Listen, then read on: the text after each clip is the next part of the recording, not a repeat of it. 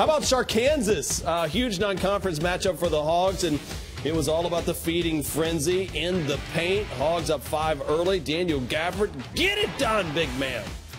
Well, the first three minutes of this game, Minnesota got knocked out. They didn't come ready to run in Bud Walton Arena. And Arkansas was the aggressor. And Barford, to me, is the guy that brings the fight for Arkansas, and everybody else feeds off. Gafford was terrific. He was terrific today. He stayed out of foul trouble and the best athletic big man I saw in all of college basketball today. Remember, remember Bobby Portis used to wear 10, and he was pretty uh, enjoyable to watch as well, too. These really guys good. getting it done.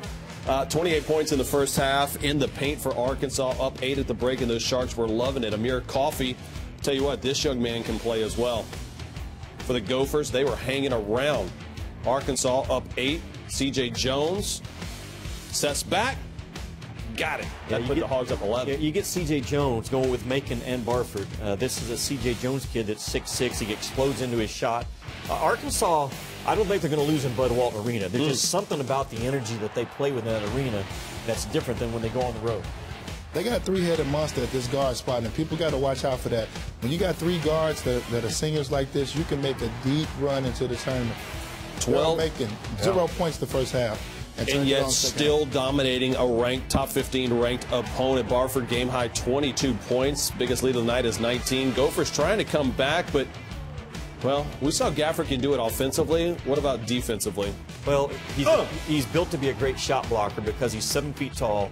He can move side to side as quick as a guard, and he can get off the floor on one or two bounces uh, as quick as anyone. That's my ball, punk. For someone that size. Yeah, he said, huh? Yeah, he, and, and, but he has been in such severe foul trouble oh. so far this year. He hasn't been on the floor, but tonight he stayed on the floor.